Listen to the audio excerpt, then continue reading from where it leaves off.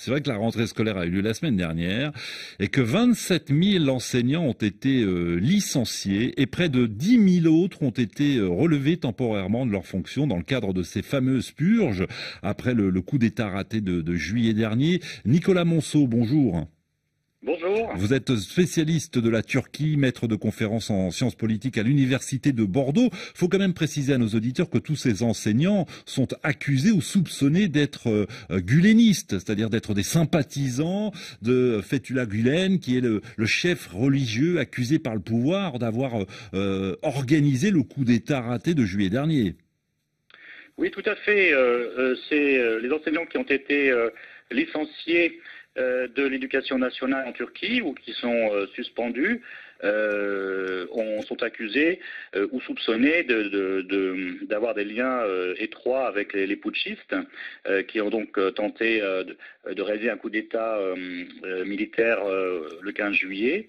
et le nombre d'enseignants d'ailleurs qui a été suspendu ou, licencié est encore plus élevé aujourd'hui parce qu'on estime entre 40 000 et 50 000 postes d'enseignants hmm. en Turquie qui seraient euh, vacants. Et du coup, quelle euh, incidence euh, et quelle incidence donc sur les cours, sur la rentrée scolaire?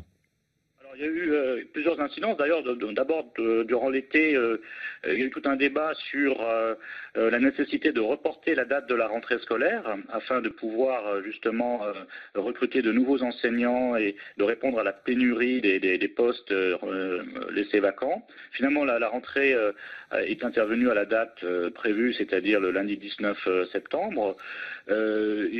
pour les, milieux enseignants, il y a de fortes inquiétudes. Euh, ce qui concerne les conséquences de ces, licenciements, euh, le président du, syndicat des enseignants d'Istanbul, par exemple, a, déclaré euh, lors de la rentrée que, l'année scolaire pourrait être un chaos généralisé. Mhm. en raison de, la, pénurie du corps enseignant. La conséquence est la suivante.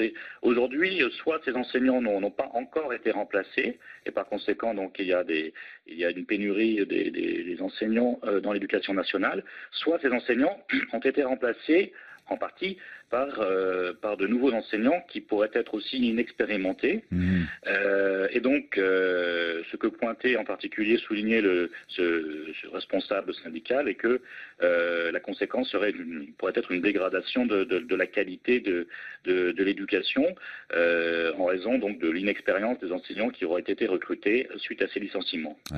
Merci Nicolas Monceau d'avoir répondu à sa marque qui nous appelait donc de Lomé au Togo. Je rappelle que vous êtes spécialiste de la Turquie, que vous êtes maître de conférence en sciences politiques à l'université de Bordeaux.